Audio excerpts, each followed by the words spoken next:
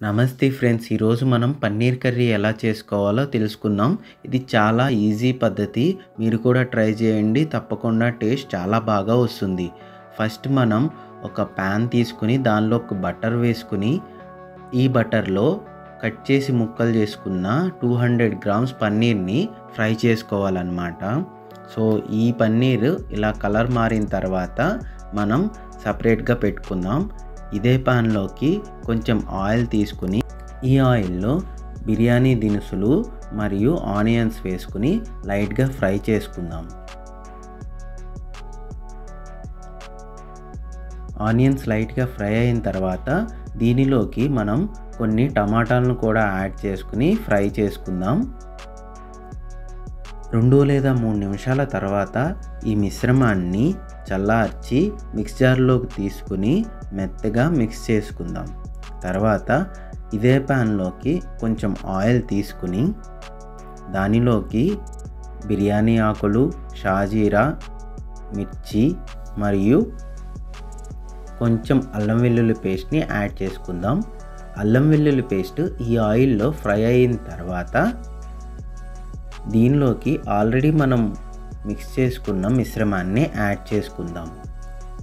కొంచెం సేపు దీన్ని కుక్ చేసుకోవాలి. సో ఎప్పుడైతే ఈ మిశ్రమం నుండి ఇలా ఆయిల్ బయటికి వస్తుందో కనిపిస్తూ ఉందో సో ఇది కుక్ అయినట్టు అనమాట సో ఇప్పుడు మనం సాల్ట్ కారం పసుపుని యాడ్ చేసుకుని కలుపుకుందాం. ఒక వన్ మినిట్ తర్వాత ఆల్రెడీ మనం బటర్లో ఫ్రై చేసుకున్న పన్నీర్ని కూడా యాడ్ చేసి ఇంకొంచెం సేపు కుక్ చేద్దాం.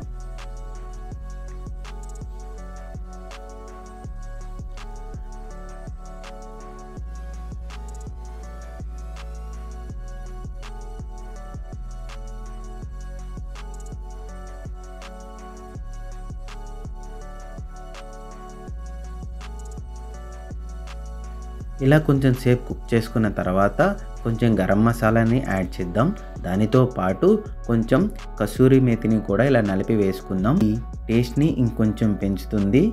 అలాగే కట్ చేసి పెట్టుకున్న కొత్తిమీరను కూడా మనం దీనికి యాడ్ చేసుకుందాం.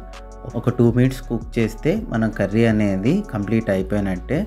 చూశారు కదా పన్నీర్ కర్రీ చేసుకునే విధానం చాలా సింపుల్గా ఉంటుంది. అండ్ చపాతీలోకి రైస్లోకి చాలా అంటే చాలా బాగుంటుంది. ఒకసారి ట్రై చేసి ఎలా వచ్చిందో కామెంట్ చేసేయండి. అలాగే మన తిందాం రండి యూట్యూబ్ ఛానల్ని సబ్స్క్రైబ్ చేసి సపోర్ట్ చేయండి. Thank you.